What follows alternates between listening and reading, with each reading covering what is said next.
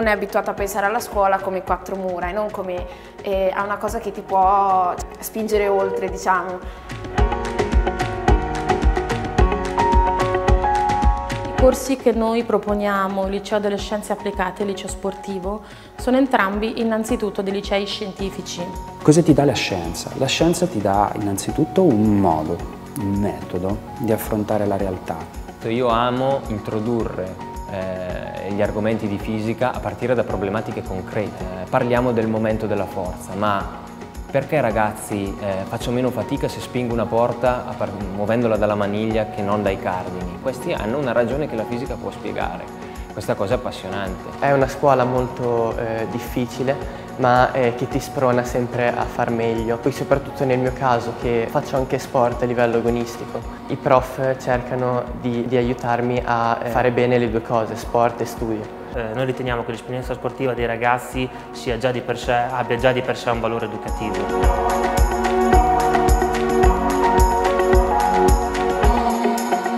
Viene chiesto ai ragazzi di entrare in profondità nelle cose che studiano.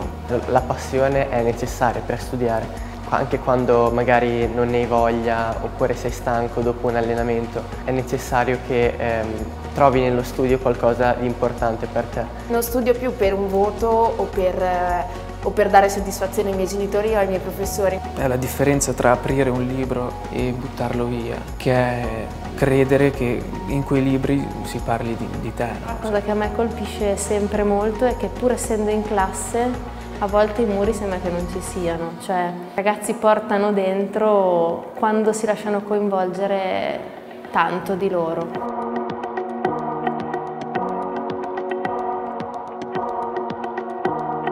Prima di tutto la persona che mi trovo di fronte non è un mio professore ma è una persona, è una persona che è stata messa lì per il mio bene.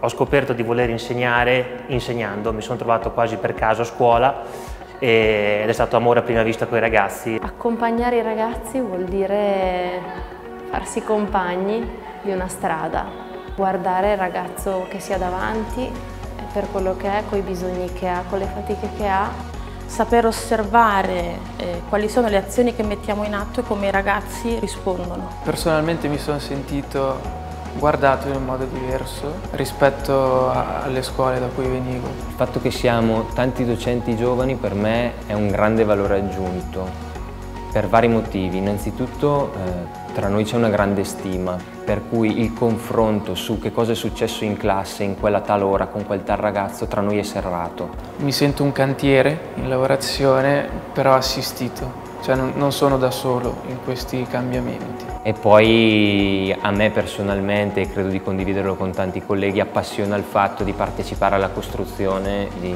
un'opera educativa.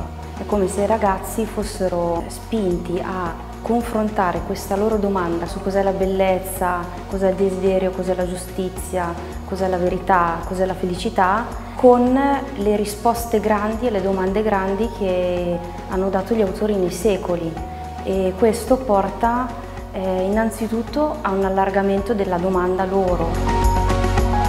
Un rapporto per me fondamentale è quello con i genitori.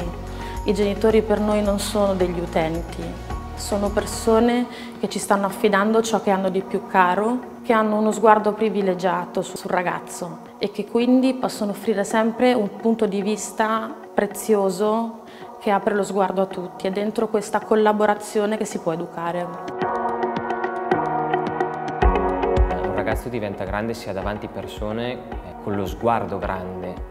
Gli strumenti sicuramente più importanti con i quali io sono uscito da questo liceo sono sicuramente stati la conoscenza della lingua inglese. Amiamo dire che per noi l'inglese è una seconda prima lingua.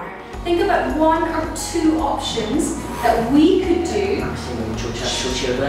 The amount of food that's going to be needed and resources, energy resources. Soprattutto in generale il modo di affrontare una, eh, un problema che mi si pone davanti e cercando quello che è il modo migliore per insomma, superarlo. Io diciamo che stando qui ho capito che quello che voglio veramente per me è essere felice.